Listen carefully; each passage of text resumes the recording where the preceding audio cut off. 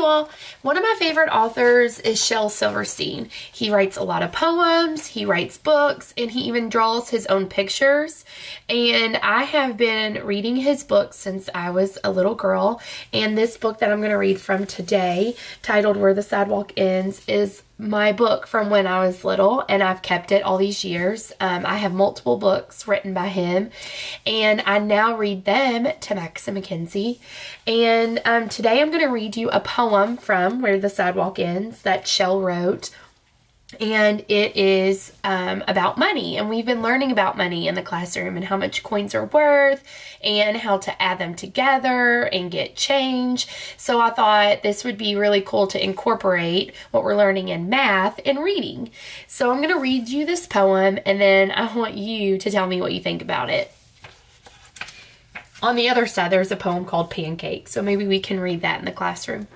But today we're going to read this poem and it's called Smart.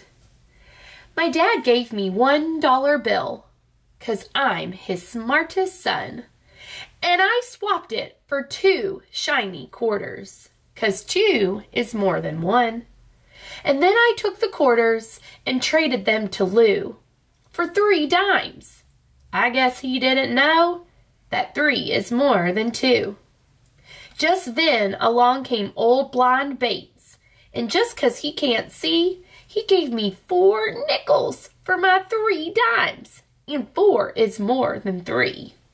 And I took the nickels to Hiram Coombs down at the seed feed store, and the fool gave me five pennies for them.